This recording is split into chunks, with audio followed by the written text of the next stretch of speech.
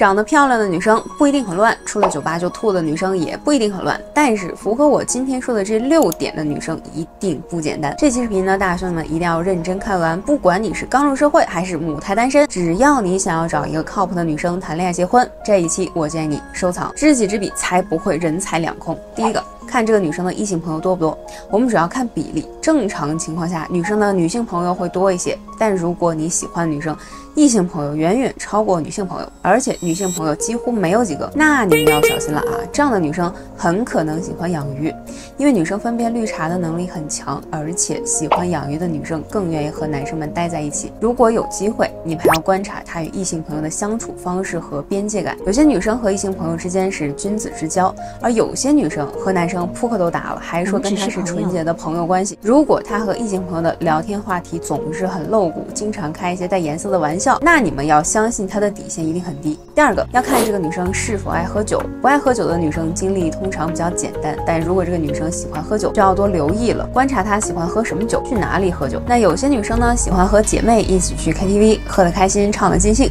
这些女生呢通常只是喜欢喝酒玩乐唱歌。那这样的女生呢交往起来可以放心一些，因为即使在一起啊，她还是会喜欢喝酒，而且呢会带着你一起。但是如果这个女生喜欢去清吧之类的地方，情况呢会复杂一些，在这些地方喝酒的女生呢，既有渣女，也有真正热爱音乐的好女生。如果你喜欢的女生喜欢去蹦迪酒吧，每天都去卡座上玩抓手指、传纸条，那你就不要有任何幻想和侥幸心理了。这种女生呢，你们也不必对她有过多的期待，玩的开心，互相提供好的体验就可以了。第三个，你可以和这个女生聊一聊其他人的八卦。尤其是那些三观不正的事情，比如啊出轨啊接盘呢。如果这个女生在听到这些八卦时没有反感、震惊或者颠覆三观的惊讶表情，那就代表她对这些事情是可以接受的，甚至可能曾经做过类似的事情。当他们经历过那些毁三观的事情之后，就再也装不出对这类事情震惊的状态了。即使想装，也装不下去。所以仔细观察细节，你一定能够发现破绽。第四个，看这个女生和你在一起后愿意多快和你打扑克。如果她很快就愿意，那就说明在她他的。潜意识里，这么快打扑克是符合他的三观的。如果他过去的经历比较简单，家教也比较好，他可能接受不了随便和一个男生打扑克，而且呢会非常抗拒，甚至觉得你不尊重他。那些接受程度较高、比较快的人，自然也是经历比较丰富，相对不那么简单的人。第五个，看这个女生的社交动态和她的社交能力。在微信上，每个女生呢都喜欢发自己的照片，正常的女生分享自拍和生活照是很正常的，大家都希望脱单嘛，展示自己的优点也没有什么问题。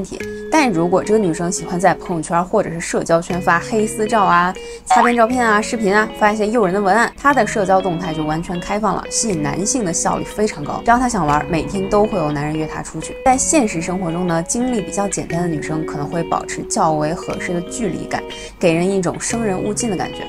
而社交能力完全开放的女生呢，和任何一个男人聊天都能够聊得很开心，甚至主动过来招惹你。这样的女生已经不是简单的段位了，只要她们想，她们可以轻易的和任何一个男生拉近关系。如果你想认真谈恋爱、谈对象、结婚，就别考虑这样女生了，你们不合适。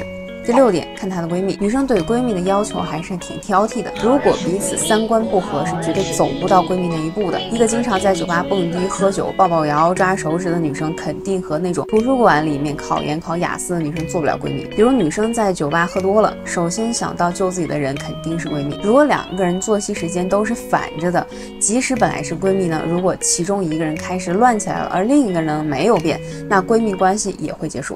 所以我们就去看这个女生的闺蜜。是不是正经人？如果闺蜜不是，那你就不要相信她的鬼话，什么出淤泥而不染呐，不可能的。如果你想学习跟女生聊天的技巧，想吸引上让她倒追你，或者有恋爱追女生、相亲挽回方面的情感问题需要帮助，那就添加我的微信 c x x 五三八八，我来帮助你。如果信欠不上，请看我最新视频的结尾及我的最新联系方式哦。拜拜。